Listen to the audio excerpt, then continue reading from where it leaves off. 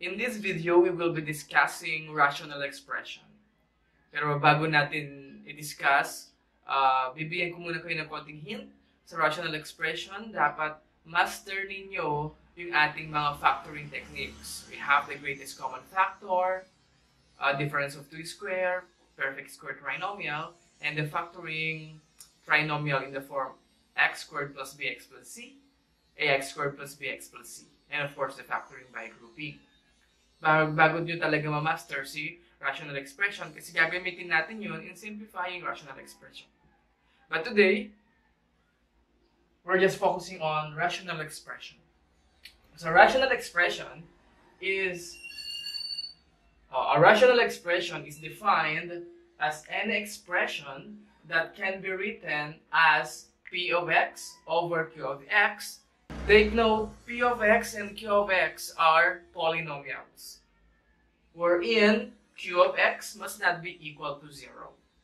So we have a restriction, q of x is not equal to 0. Bakit mahalaga yan? Alam natin na q of x is not equal to 0.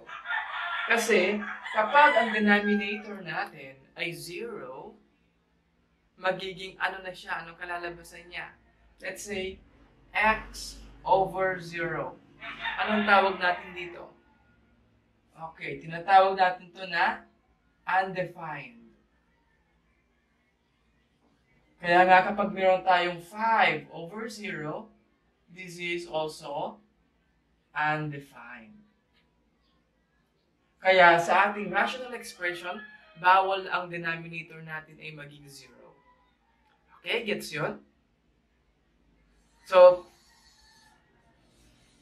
ano ba yung root word natin sa rational? So, ang root word natin is ratio. So, that means, ang ating form ng expression na to is in a fraction form. Let's say, we have x plus 5 over x minus 5. So, ito ay example ng rational expression. Next, x raised to negative 3 plus 4 over x plus 5. x raised to negative 3 plus 4 over x plus 5. Is it a rational expression?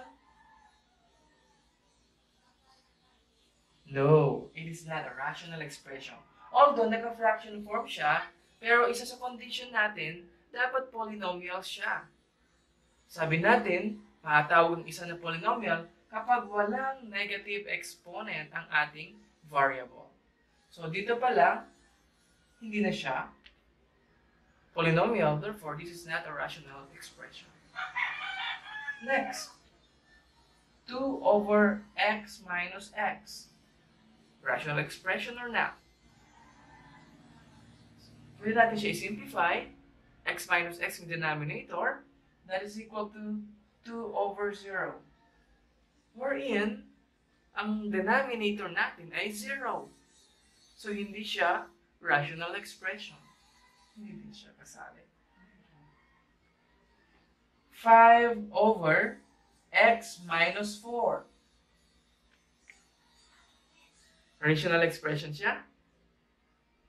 Yes. Wala tayong natama ang restriction dito sa given.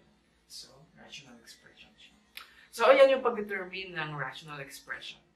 So, dapat, recall natin, an expression in the form p of x and q of x, wherein p of x and q of x are polynomials. And of course, q of x must not be equal to 0. So, next lesson natin is to find the domain and range of rational expression.